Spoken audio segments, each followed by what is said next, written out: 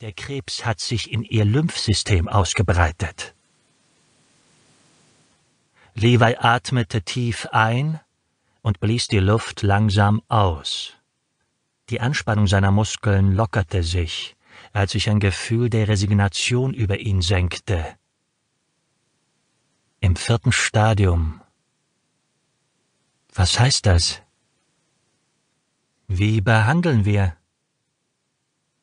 Wie sieht der nächste Schritt aus? Der Arzt zog sich einen Stuhl herbei und setzte sich so nah gegenüber Levi, dass sich ihre Knie praktisch berührten.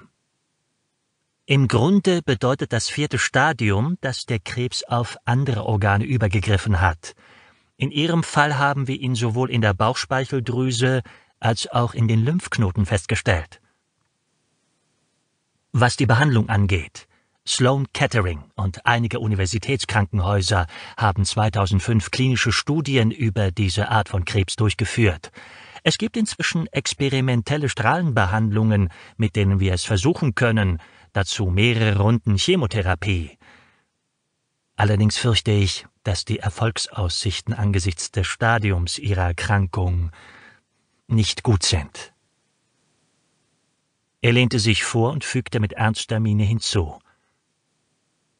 Meiner Schätzung nach bleiben Ihnen ohne Behandlung nur vier bis sechs Monate, um Ihre Angelegenheiten zu regeln, und ich will ehrlich sein, was die Chancen mit einer Behandlung angeht.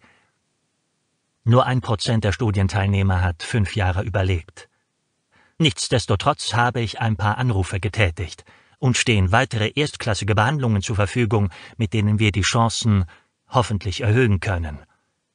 Jedenfalls werde ich alles in meiner Macht tun, um Ihnen zu helfen. Levis Gedanken überschlugen sich, während er die Worte des Arztes zu verarbeiten versuchte.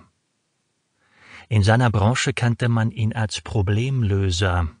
Er kümmerte sich um heikle Angelegenheiten, wenn Mafiabosse jemanden mit einem geschickten Händchen brauchten, nicht bloß stumpfe Muskelkraft. Außerdem nahm er Probleme an, die man seitens der Polizei nicht lösen konnte oder wollte. Für dieses Problem fiel ihm keine Lösung ein. Aber er wusste, dass es einige Dinge gab, um die er sich sofort kümmern musste. Er stand auf und schüttelte dem Arzt die Hand. Dr. Cohn? Mir ist bewusst, dass es schwierig sein muss, solche Neuigkeiten zu überbringen.